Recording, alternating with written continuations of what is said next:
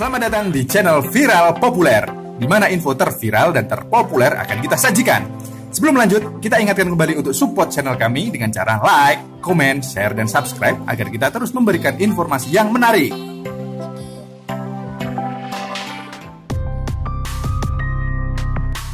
Go go go!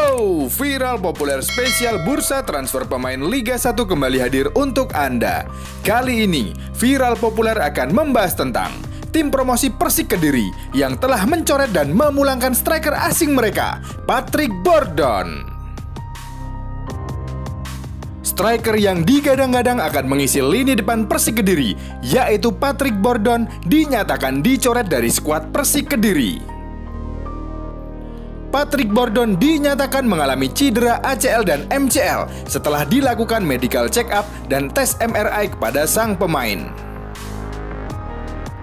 Cedera anterior cruciate ligament atau ACL adalah kondisi ligamen cruciate anterior di lutut yang meregang berlebihan atau bahkan robek. Sedangkan MCL atau medical collateral ligament adalah Otot yang menjalar dari bagian dalam tulang kering, bagian atas atau tibia ke bagian dalam bagian bawah tulang paha atau femur. Sebagai bentuk tanggung jawab dari manajemen, Patrick Bordon dipulangkan ke negara asalnya Slovenia dengan biaya dari Persik Kediri.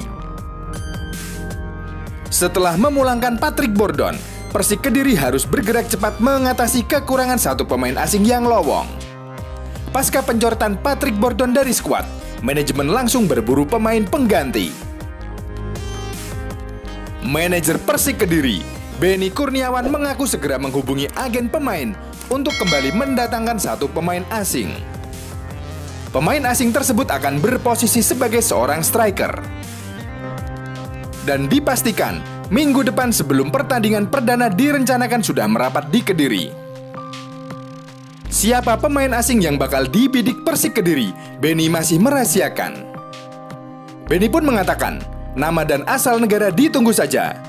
Nanti, kalau sudah merapat, pasti diumumkan. Ucapnya. Mengenai pencoretan Patrick Bordon, manajer Persik Kediri mengaku sedikit gamang. Pemain 29 tahun yang digadang-gadang bakal jadi striker andalan ini ternyata mengalami cedera fatal. Dengan batalnya Patrick Bordon ke Persik Kediri, siapakah yang pantas menggantikan posisinya? Kita nantikan saja kabar selanjutnya. Sampai jumpa di video berikutnya. Jangan lupa like, share, dan subscribe ya. See you!